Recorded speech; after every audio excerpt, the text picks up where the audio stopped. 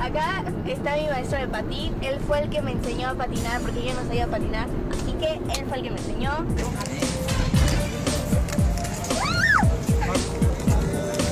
Es inexplicable lo que siento, de verdad.